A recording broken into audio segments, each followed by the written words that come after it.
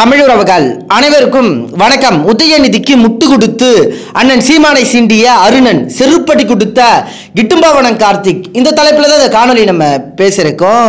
அதாவதுங்க தமிழ்நாட்டில் இந்த திராவிட முன்னேற்றக் கழகம் பாஜகவை நேரடியாக ஆதரித்து களமாடி வருகிறது. அப்படி இருந்தும் பாஜக எதிர்ப்பாளர்கள் பலர் இன்னும் திமுகவுக்கு முட்டு கொடுத்து பேசுவதையே வழக்கமாக கொண்டிருக்கிறார்கள். அந்த வரிசையில் அருணன் தனது ட்விட்டர் பக்கத்தில் பாஜகவை திமுக எதிர்க்கும் என்று இன்னுமா நம்புகிறீர்கள் என்று ஒரு நாம் தமிழர் தம்பி கேட்கிறார் என பதிவு செய்து பாசிச பாஜகவை தோற்கடிப்போம் என்று உதயநிதி பேசுகிறார். எங்கே சித்தப்பா எடப்பாடியை அப்படி பேச சொல்லுங்கள் பார்ப்போம்.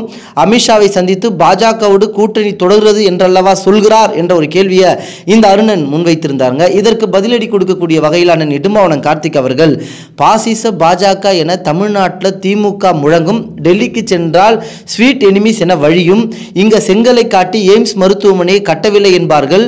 டெல்லிக்கு சென்றால் வெள்ளித்தட்டில் வைத்து மருத்துவக் கல்லூரிகளை கொடுத்தார் மோடி என புகழாரம் சூட்டுவார்கள். திமுக அதிமுகவை நம்ப முடியாது என திராவிடம் ஐம்பது நூலில் நீங்களே குறிப்பிட்டிருக்கிறீர்கள்.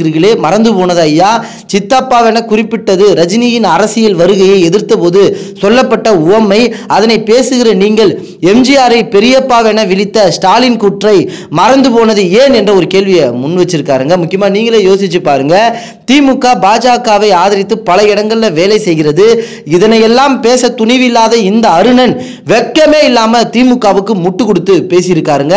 அருணனின் இந்த கருத்தை நீங்க எப்படி பாக்குறீங்கன்றத உங்களுடைய கருத்துக்களை தெரியப்படுத்துங்க. நன்றி வணக்கம்.